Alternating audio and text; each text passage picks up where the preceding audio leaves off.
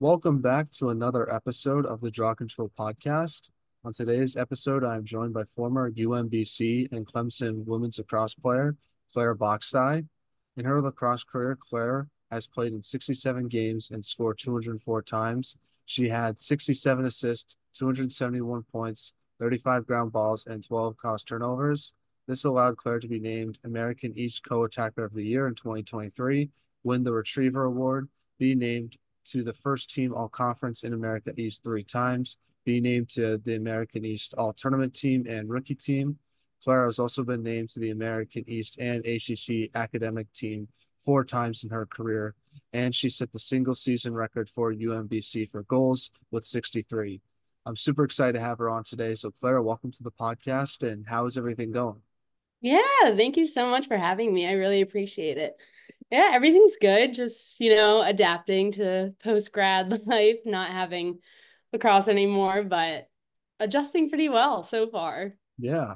Well, like you just mentioned, you just wrapped up your college career. So what have you been up to since graduation? And do you still plan on being involved with lacrosse um in the near future, or is that sort of it for you?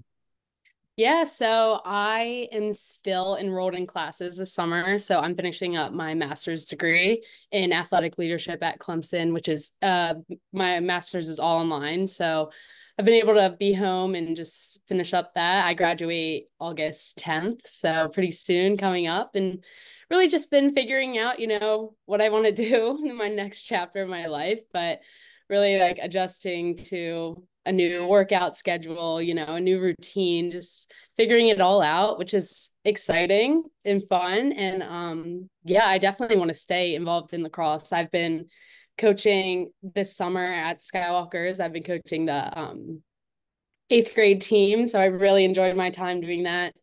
Um, and I just like love giving back to, you know, where I started my career at Skywalkers and just been having so much fun doing that. Yeah, it must feel weird to have so much free time as well. Uh, when you're a student athlete, you have so much going on in your schedule. So it must feel a little weird to have all this time to do whatever you want, basically. Yeah, I feel like I need to be moving like all the time every day. So I'm not used to it, but I'm learning that, you know, it's okay. You don't need to be, you know, doing a million things at different times a day. So yeah, it's exciting. Well, I want to start off the podcast talking about the beginning of your career and sort of working all the way up to where you are today. So you're from Forest Hill, Maryland. Uh, talk about growing up there and how did you start playing lacrosse? Yeah, so growing up in um Forest Hill was def I loved it. Love living here, love being here. It's definitely a small, you know, tight-knit community where mainly everybody knows each other, you know, there's always connections somewhere and there's just like a strong sense of support. So I think you know, growing up, my family is very active and we spent a lot of time like outside just playing as many sports as we can. My parents always, you know, made sure we were being active. We were playing, I was playing soccer, lacrosse, basketball, you name it. I was just out there, you know, staying active. And my parents just saw, you know, sports as an opportunity to keep us moving, keep us, you know, involved. And then, you know, I started playing lacrosse at a very young age and really I fell in love with the game like instantly and I just loved how, you know, fast paced it was and you know, all the different skills required for the, sport just it was so it was so fun and I just had so many fun times with, you know, meeting new people and just staying connected and yeah, I really really fell in love with the sport and dedicated myself to get better every day and my coaches and teammates growing up were very instrumental in my development as a player. So yeah, the guide their guidance and the support um, in that environment really helped me, you know, develop my skills and develop a deep passion for lacrosse. Now, growing up, were there any teams or players that you like to watch? Yeah, I definitely loved watching Maryland and UNC. Just I was a big lacrosse fan growing up and just looked up to them and their teams. And I loved watching, you know, Taylor Cummings. She was very dominant on the field and versatile versatile and her leadership was what made her an outstanding player and just like watching her play for Maryland was always fun and you know I really wanted to be her one day. So I really looked up to her. And, you know, as for teams, I also loved obviously watching Maryland and UNC and just their consistency and teamwork and, you know, their championship mentality were so inspiring. And, you know, they always played with unity and such pre- like so much precision, which was something I, you know, always aspired to do in my own game, like growing up. Yeah, it must have been a full circle moment for you wanting to beat UNC um, when you were with Clemson a few years after you were being a fan of that team uh, before your recruiting process, obviously.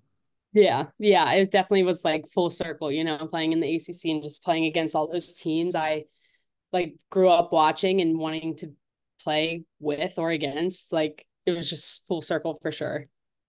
Now, before college, you played for your high school with Maryvale Preparatory School, where you were the high school MVP in 2018, and you were also a team captain as well. So, just talk about your high school lacrosse experience and what's like your favorite memory when you look back on that time. Yeah, so playing at Maryvale and just like playing with all those girls on my team were just such a so many memorable years and like in my athletic career and you know, being a part of that team was just such a good experience and shaped me, you know, both as a person and as a player.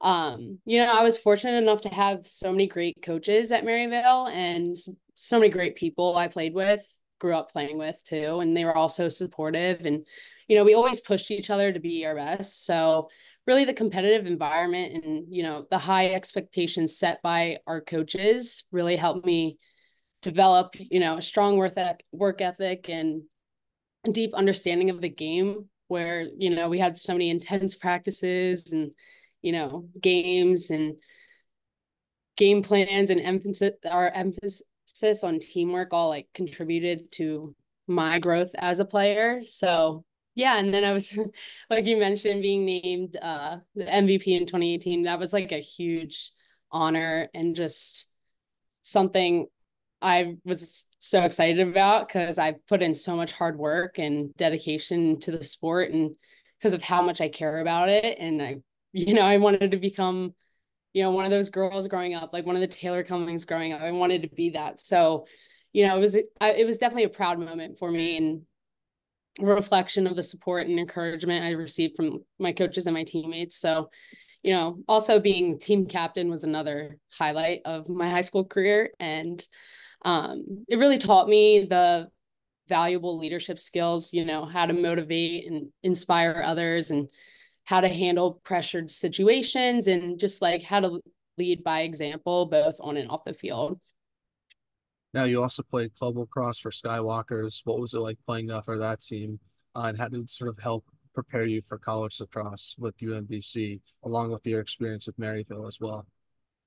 Yeah, so playing for um Skywalkers was definitely, you know, an incredible experience and being a part of that family, you know, was where I truly fell in love with the sport and realized my desire to improve every single day. So the environment really fostered a deep sense of passion and commitment to lacrosse you know, one of my most remarkable aspects of playing for Skywalkers was definitely like the quality of the coaching. Our coaches were outstanding. They were dedicated, very knowledgeable, and you know, they were genuinely invested in each player's development. So they didn't just see us as, you know, lacrosse players. They saw our potential and were always committed to helping us reach, you know, our goals. And practices were never easy. We had I think our club was always known for like hard intense practices which were so challenging and the training was hard but it really helped us like grow as players. And the coaches were tough on us because they knew what we were capable of and wanted to push us to be our best. So really you know just growing up in that environment really prepared me for where i where i was now. And just overall was such a great experience. And um, also like the team dynamics were exceptional. Like our, our teammates were, everybody was so talented and hardworking and being surrounded by all these like this motivated group of players was so inspiring. And you know we we did it together. We always pushed each other to improve and supported each other through you know the ups and downs and our friendships were formed within the team. They were like so in, invaluable and creative and and creating a supportive and motivating environment. Well, let's transition now to recruiting process with UMBC. Uh, what was that, uh, I guess, process like for yourself, and what made you want to go there versus other schools you might have looked at? Yeah, so our the recruiting process for me was uh before the rule change. So I, I was a pretty young player, and I was definitely some someone who like peaked a little later than others, but um, I just knew like right when UMBC reached out to me, I was like, oh, it's like definitely a really cool school. I'd love to visit. So I was like, it's close to home. You know, it would be so cool to be able to like go home when I wanted and just, you know, being close to home was something I really wanted. So, um, right when I visited UMBC, I immediately felt like such a strong connection with the campus and, you know, the facilities and the coaching staff, especially. I truly like those were the most amazing coaches. And I still to this day, I'm, you know, I, I'm connected with them. We talk on and off, and they're just so supportive. And, you know, the lacrosse program also had a good reputation for being competitive and was very well, well respected. And I was just so impressed by, you know, the team dynamics and the support system they had for student athletes. And um, the coaches also just showed such genuine interest in my development as a player and a person, which, you know, was so important to me and made me feel like wow, like they really care about me as a person as well as like an athlete. And this is something I wanted, you know, in college and their vision also for the program and where it could go is, you know, fostered such a positive and growth oriented environment, which like resonated with me very well. So also academically, UMBC offered, you know, the um, major I wanted to pursue, which was media and communications, and um, which was also like a big factor in my decision. And you know, I wanted a school that provided a strong balance between athletics and academics, where you know I could pursue my academic interest while you know playing lacrosse at a high level. So overall, that's why I definitely fell in love with UMBC and wanted to go there the mascot's also pretty cool as well. Mm. I know that my I don't know if that had anything to do with your decision, but I definitely like the retriever mascot. It's very unique. Yes. Yes, I love it. I love being, you know, the retrievers it was so perfect. Everything was so perfect about that school. Do they have like a live mascot like some schools do with like a dog or is it just a person in a costume? Um, maybe sometime like back then, but definitely, yeah, just like regular mascot. Oh, okay. That would be cool to have yeah. like an actual retriever on campus. I think that would be a lot of fun. But yeah, uh, I don't know. Maybe just a future suggestion for them if they're listening to this podcast yeah, at all. Cool. Now, as a freshman, what was sort of the biggest adjustment you had to make to college lacrosse?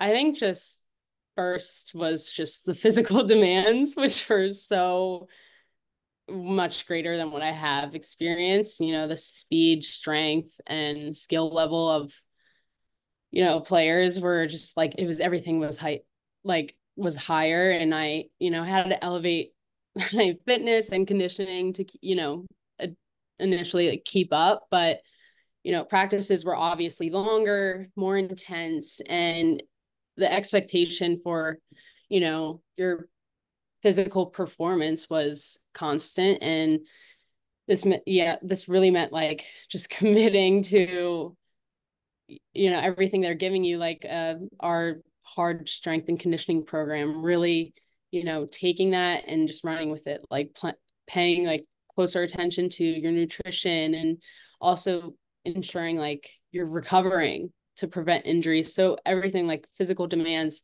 that was you know, definitely a big adjustment, but it's something that you easily adjust to in a couple of weeks. And also, I think, you know, balancing academics with athletics was just another big adjustment. So, the college, you know, the workload is more challenging and time consuming, and managing my time effectively became very important. I had to really develop strong organizational skills to keep up with my classes. Um, my assignments and just studying while you know dedicating time to practices games and traveling it was just hard to find that balance between academic responsibilities and athletic commitments. But, you know, we had things like study hall and, you know, our supports system was insane with all the um, academic staff and just everybody was always looking out for you, making sure you had everything in line and you were always good to go. So mm-hmm. that was very, very helpful. Also, just um, being, you know, I was close to home, but still being away from home was hard to, you know, adapt to a new environment, which was, you know, like just building new relationships with teammates and coaches and just adjust to living on campus. And, you know, you just really became more independent. And that was just like all part of the transition to college. Now in 2020, in your first season before the pandemic shut down shut down everything, including your season, uh, just talk a little bit about your freshman year and how you handled the challenge of having your season get cut short. Yeah, so my freshman year, I was definitely so excited just to be a part of this, um, a part of this community, and you know, adjusting to the collegiate level of play, and just you know, really adjusting to like the UMBC lacrosse team, and just really getting to know everyone was so exciting. But you know, when COVID hit, that was definitely something that was very sad and you know hard to adjust to but um yeah i mean like my the beginning of my freshman season was definitely filled with like a lot of hard work and just excitement and you know i was like focused on learning from my coaches the upperclassmen improve like always improving my skills and contributing contributing to the team like in many ways i could practices were hard and games were, you know, super competitive, which provided me with, you know, so so many like experiences and a deeper understanding of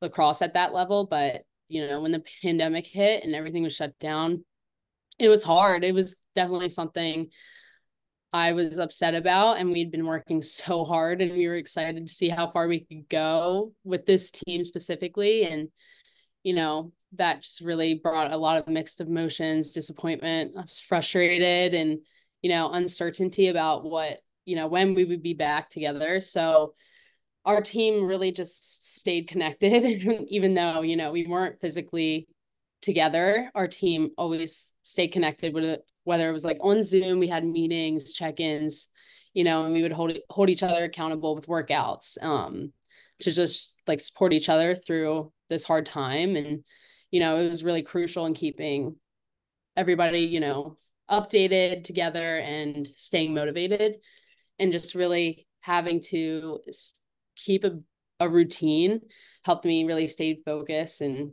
productive while we weren't together at UMBC, but really just held each other accountable, made sure, you know, we always talked to each other every day was something that we really focused on during this time.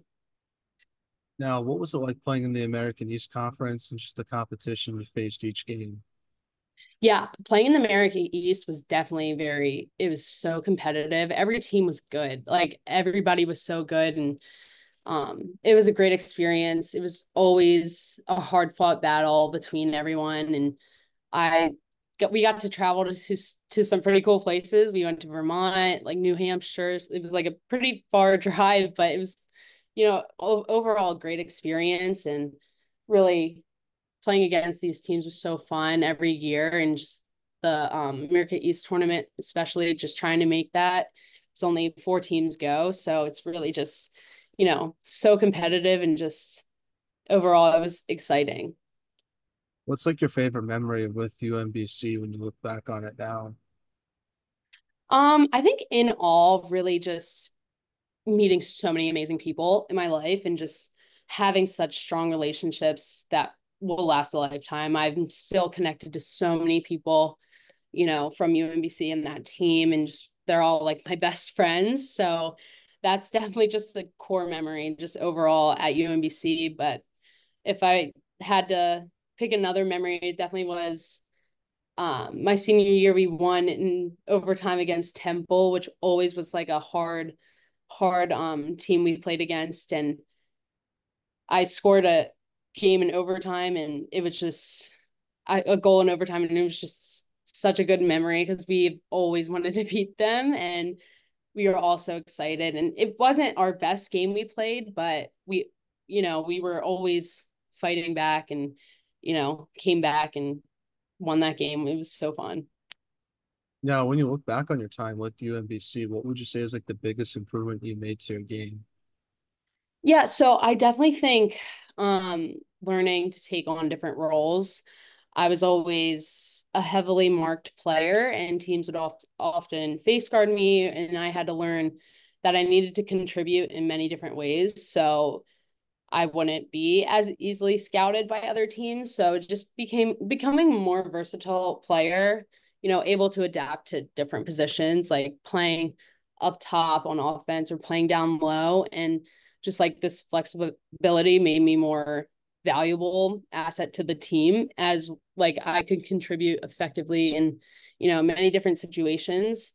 Um, so really just taking on that these many different roles and you know it def- definitely re- required a lot of extra practice and you know willingness to step outside my comfort zone and realize that you know I can help my teammates in many different ways just that sort of mental shift like that focus on those different aspects really really improved over the years at UMBC and also you know as I progressed throughout my career there I definitely developed stronger communication and leadership skills. Being a captain and um, being able to effectively communicate on the field was very important for the team. And being able to lead and motivate my teammates you know really helped us perform as a unit and you know just serving as a mentor for younger players and stepping into leadership roles taught me you know importance of fostering a supportive and cohesive team environment. Now, in 2023, you played your final game with UMBC in a win over UNH. Uh, what emotions were you feeling after that game, and what what will you take away uh, from your time with the Retrievers? I guess looking back on that after your college career is over at, at this point in your life. Yeah, I definitely felt a lot of different emotions. I definitely like one of them was definitely I was so proud of our team's performance, our hard work, and you know the journey we all taken together to get to where we were, and just ending my college career in a victory was you know just sort of like a testament to our dedication and perseverance throughout the season. It was you know it was satisfying, uh, like a cumulative, um, satisfying like winning like putting in all of our effort and the dedication throughout the years. So that one was so important. But also like reflecting back on it, it was like a strong sense of nostalgia, I guess, as I like reflected on my time with UMBC and, you know, just reflecting on the memories of practices, games, you know, team bonding and the friendships I've built all like rushed through my mind as like that moment came to a close and just thought about the person I was when I first joined the team and how much I'd grown both as a player and an individual. So definitely that journey, you know, had been filled with highs and lows and each moment had contributed to my development. Um, I also was very grateful. Um, I was definitely thankful for the incredible support from my coaches, my teammates,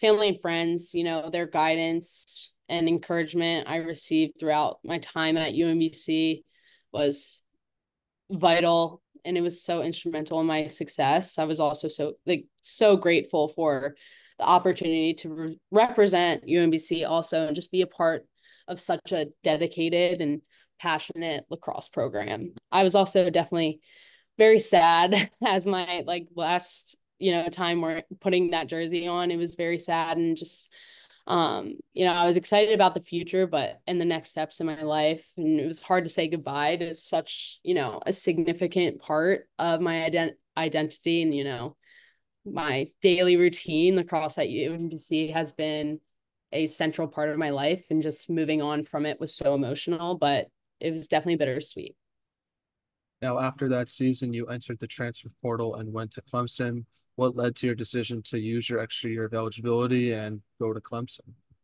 Yeah, so really like because of COVID, having that extra year, I realized I was like, you know, this is such a great opportunity to go on and, you know, get my master's and, you know, all the hard work I did at UMBC, I was like, I have always dreamt of playing in the ACC specifically and just being a part of a program that is that like is so successful and just being you know playing at the highest level and being a part of the um ACC conference is something I always dreamt of. So Clemson has always been a dream of mine I remember growing up I always said to my parents I was like I wish Clemson had lacrosse like I would love to go there the school is amazing you know um so I they were like the first people I was like I want to go here so bad. I reached out and I was like this is it. This is the place I want to go and I was just so excited to you know to be a part of Clemson.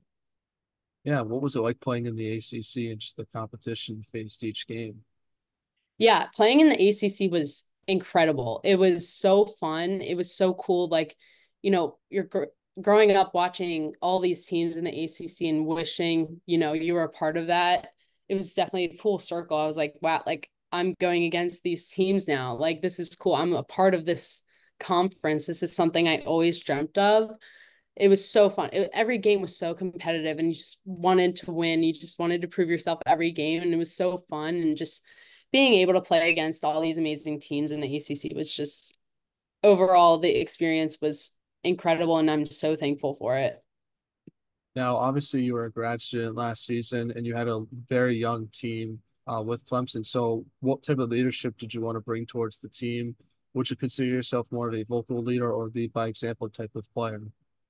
Yeah, as a grad student last season, I definitely like aimed to bring a leadership style that was um very inclusive, supportive, and just motivational. So my goal was to use my experience and you know to positive positively you know influence team my teammates and just help create a cohesive and very motivated team environment so i wanted to de- like continue to demonstrate a strong work ethic my dedication both on and off the field and discipline um, by consistently showing, you know, showing up prepared, giving my best effort in practices and games and, you know, balancing my academic responsibilities. I just aimed, I wanted to set the standard for my teammates. Definitely somebody who um leads by like through example more than like vocally, I think. Um, you know, I really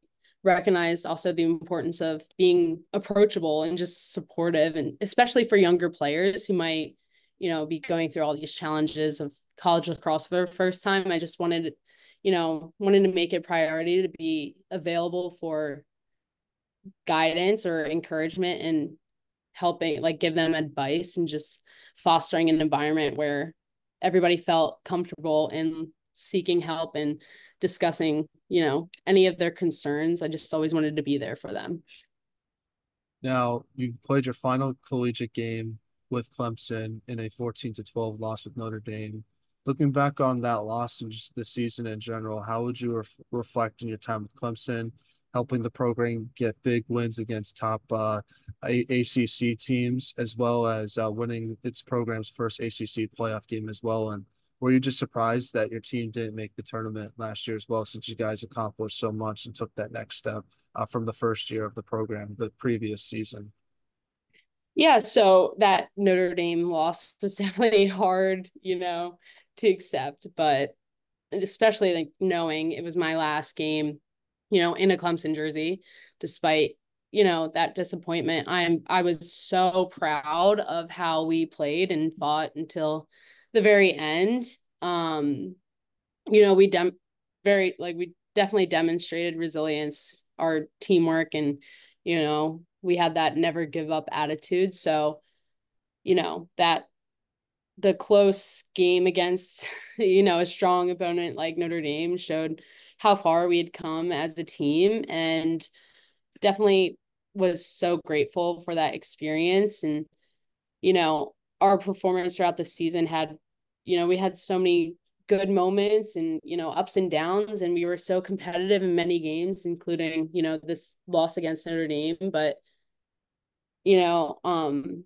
we definitely wish we made the tournament. We we you know, we gave it our all that season and we wish we did, but you know, overall I'm just so incredibly grateful for the coaches, you know, believing in me and taking me in um as a transfer and just that the opportunity to be a part of something special. Clemson you know women's lacrosse was something i'm forever grateful. So let's transition now to a segment i like to call the non-lacrosse segment where i ask you some non-lacrosse questions to hopefully get to know you a little bit more off the field. So first one is if there was a movie made about your life who would you want to play yourself? Um i think i'd pick like someone like I guess Jennifer Lawrence. She's very funny and you know definitely like a down to earth actor actress. Um, she brings a lot of you know energy and um enthusiasm in her roles and you know she's just so funny and I think she'd make a very good you know somebody who would be very good at playing me in a in a movie. Now, what is the most interesting thing you've read or seen this week? Um, I think going I as I was going through Instagram the other day, I saw like Charlotte North's like 92 mile per hour shot, which was insane. I think that was so cool to see and just how, you know, even I think like men's and women's lacrosses, like especially with, you know, somebody as like a powerful shot as as hers is pretty insane to see. Like just it was so cool. Now, who has the best off the field style on the Clemson women's lacrosse team and the UMBC women's lacrosse team? Hmm. At Clemson, I definitely would say Ella Little. She always had so many good outfits, like pregame outfits, her shoes, like everything about her. She showed up in like a cool outfit every day. Um, and at UMBC, I'd say probably my roommate Jenna McDermott. She had so many. She also had so many good like creative outfits and cute things I always wanted to steal from her. But yeah, definitely those two. Now, last non-lacrosse question is: What is one item on your bucket list that you hope to accomplish one day? Um, I I want to just travel. I've been to a couple places in Europe, but I want to travel so many places so many other places in Europe. I would love to go to Italy. That's like definitely a goal of mine. Um, yeah, just like really traveling the world, getting to experience different parts of the world is something I really want to do. Now let's get back to some cross questions. Now, just the final one I wanted to ask you was, what should be done to help grow women's lacrosse from your perspective? Yeah, I definitely think like exactly what we're doing now, just you know, engaging former players into like interviews like this and just growing the game by you know through social media and just spreading awareness and really like just showing other people like their experiences growing up and playing lacrosse and just sharing that i think this is a perfect perfect example and just this is definitely something that is growing and continuing to um inspire young players i think. Just let having them hear from people like us and just is really cool. And i think something that is you know definitely good for the game. Now before we let you go claire do you have any shout outs you want to give to your teammates family members and friends? And who should we have on the podcast next?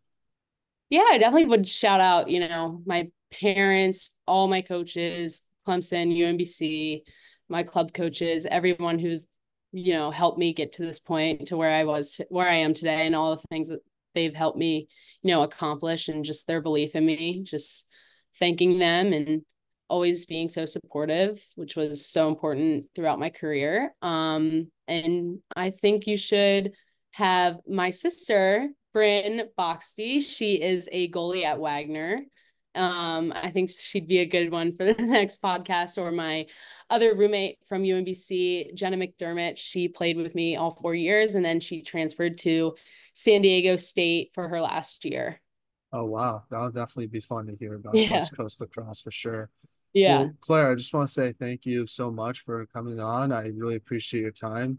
I think you're a great player. I think you're a great person, and I'm excited to see what the future holds for yourself. And best of luck with that um, excited to see what you end up uh, deciding to do. Thank you so much for having me. I really appreciate it.